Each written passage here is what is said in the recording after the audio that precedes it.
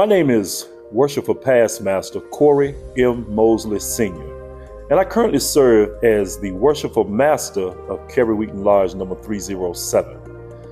I'm honored that this is my third time serving in this historic lodge as Worshipful Master. My journey into masonry started when I was in college, actually, with my interest, I should say. Uh, I pledged a fraternity, Phi Beta Sigma Fraternity Incorporated, and I always wanted to go back to the origin of where these fraternal organizations started. And I was always told that it started with the Freemasons. So after I finished with college and I began working, I touched base with someone that I knew that was a part of this organization and just inquired.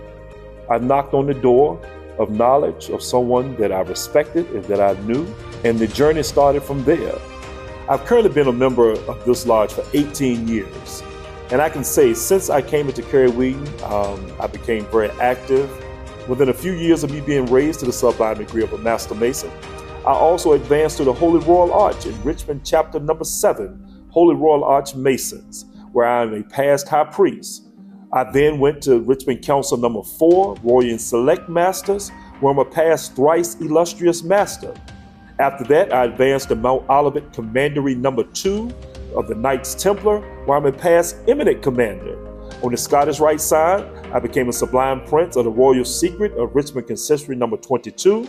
I'm also a noble of Mocha Temple number 7, ancient Egyptian Arabic Order Nobles of the Mystic Shrine.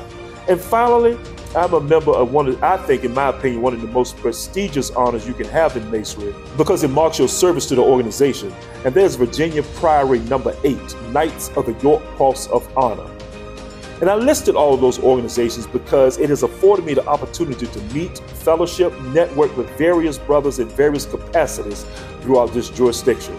Being a Prince Hall Mason, I can honestly say it's a great honor. It means that I'm a part of a brotherhood, an international brotherhood that stretches to the four corners of the earth. It means that I can attain knowledge. This organization is built on service to your various communities I mean, you are surrounded by brothers from all walks of life. But when we walk into this lodge room, we're all on the level. All titles are erased. We're all one, and we're all working towards one common goal, and that is brotherhood and service to our fellow man. Our ultimate goal is to take the good men in this world and make them into better men. That's what we strive to do. And we do that in the process of their orientation into our various degrees from an entered apprentice, fellow craft, and master mason. You are taught lessons about life, moral lessons that can make you a better upright man, a family man. That's our ultimate goal. And that's what it means to me to be a part of something so special. And I'm honored to be a part of this great, ancient, and honorable institution. One of the special things about Carey Wheaton Lodge number 307, we are a very small, rural lodge in Mechanicsville, Virginia. When I came into this lodge, there was a faithful few that has worked for years to keep this lodge functioning and doing the things we need to do within this community.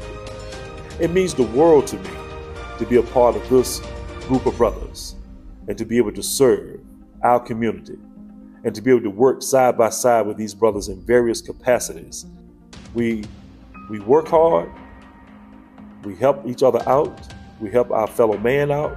We help our communities out. That is our ultimate goal. This is why we have existed since May the 28th, 1949. And for generations to come, we will continue to work hard and do the things that, is obligated for us to do within this community.